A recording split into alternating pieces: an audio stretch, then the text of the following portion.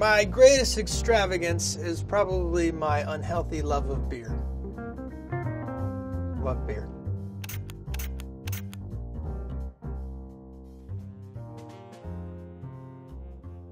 Charlie Day stopped by to talk to me. He is in the TV show It's Always Sunny in Philadelphia and currently in the film Pacific Rim. Uh, all right, let's start talking about Pacific Rim. Huge movie, Guillermo del Toro, uh, monsters, as he said it himself. It's robot porn. Uh, how did you come to do this part? I came to the movie because Guillermo is a big fan of It's Always Sunny in Philadelphia, and I just got a random call and he asked me if I wanted to be a part of his film, and so it was a very easy decision. I actually hadn't even read a script, but I, I knew I wanted to work with Guillermo, and uh, that was that. The words or phrases I most overuse are, I say you know. It's like um, I say you know like a nervous habit. Obviously, I can't imagine not enjoying anything with Guillermo. It was tough because uh, I just had a baby it was also amazing and wonderful because Guillermo builds these elaborate worlds. Any set you went into, any shot you were a part of, there were always uh, hundreds of more elements other than just sort of the obvious.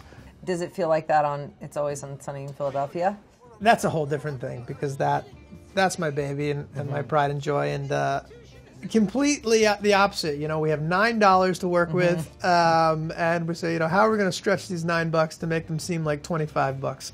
Those environments feel real because we go into real crack houses or right. whatever. Whatever. Okay, my greatest fear is, come on, who knows? Death, um, living forever, uh, large dogs. I don't know. I'm afraid of everything. What advice do you have for for people like yourself a decade ago? I think take it into your own hands. And even Guillermo, after uh, you know a couple decades working as a filmmaker, someone has given him uh, that blank check to make whatever he wants. But starting out, you can make it, mm-hmm. and you should make it. And uh, sometimes those limitations actually lead to better ideas. Uh, let's see. If I could change one thing about myself, it would be Hmm. I probably would be taller. Probably be a little taller. Just a little bit, you know? Just a little bit. Not a lot taller, just a little taller. Until next time.